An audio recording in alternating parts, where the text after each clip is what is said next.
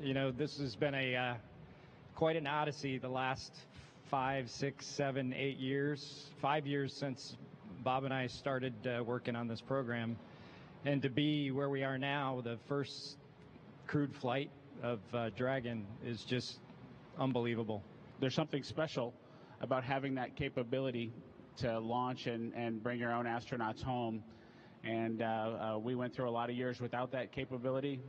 And I think we're both super, super proud to have been just a small part of the team that uh, accomplished bringing those space flights back to the Florida coast and bringing that capability back to America.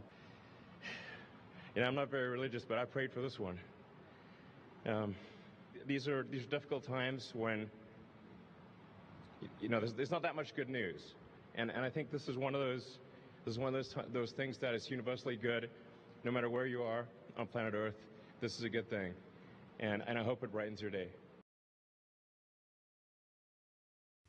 Hey, NBC News viewers, thanks for checking out our YouTube channel. Subscribe by clicking on that button down here and click on any of the videos over here to watch the latest interviews, show highlights, and digital exclusives.